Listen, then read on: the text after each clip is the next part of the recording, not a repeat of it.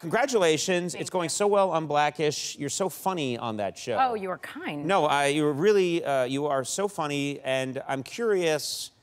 You know, some people get that way a little later in life, and some people just have it in them as a kid. Were you, as a, when you, were you making people laugh I've you always liked making people laugh. I used to get kicked out of class for it. Right. And then also, my, yeah, um, at dinner time, um, I really liked uh, making my siblings laugh, Right. and I also had a lot of energy. I'm, Yes. I'm like, it's like all through This me. is all so far. I can channel everything. How many siblings did you have? Th- four siblings. But Yeah. when I was growing up, it was three because the boys didn't come till I was 15 and 16. But so my sisters. Okay. And at the dinner table, I used to sit next to my mom, and then Rhonda was next to me, and Chudney was next to her. And I'll just point out, in case anyone Yes. uh, lives under a rock and doesn't know your mom, the great Diana Donna Ross.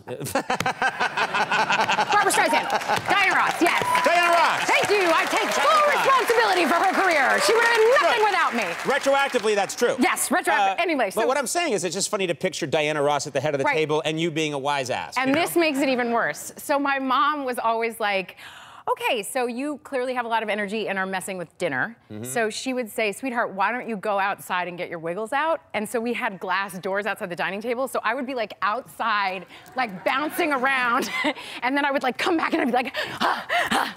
and she, she would be like, are they out? And I'd be like, I don't think so. I've got more. and I would go back out. I love like, them all eating a quiet Yes. meal and you in the background. Just bouncing around like an idiot. Now I make a living at it. So right, yeah, yeah. yeah. Or, you know what, today they would medicate you. You know, That's, had I been. you might be right. Right, I'm serious. We live in an era now where they would have medicated me. They would have had a, a blowgun and Ritalin Yes. and got me right in the But neck. do you know what my pediatrician said to my mom when I was really little? I don't remember, but I was told Right. that I was like a ball of fire, and it was her job to make sure that I went in the right direction, not the wrong one. But that her job was not to mess with the fire. Right. Because I just, I, I was like a big personality from when Yes. I came out. That's nice. Yeah, yeah, That's Yeah, a yeah, nice yeah. way to put it. yeah. Yeah. No, if I were, I was what I would have heavily sedated you. Uh, you know, like you're very, uh, you're very verbally funny, uh, and you have great facial expressions, but you're also physically a funny uh, person. I seem Was to, that- that's you too. yeah, well, I, I had to be to survive. Yeah.